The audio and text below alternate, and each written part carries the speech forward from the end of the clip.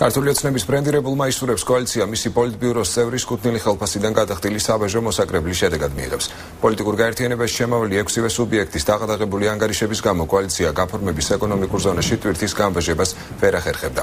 ნოდარ ხადურმაგი სახელმწიფო უნივერსიტეტში სამეცნიერო მოღვაწეობის შრომით ანაზღაურებიდან 300 ლარი დღეს შემოსავლების სამსახურის ანგარიშზე ჩარისხა. შემოწირველი თავადვე განმარტავს, რომ კანონის ფარგლებში განხორციელებული ფინანსური ოპერაციის შემდეგ მაისურების გამბაჟება სახელმწიფო უწყებამ მალევე უნდა დაიწყოს.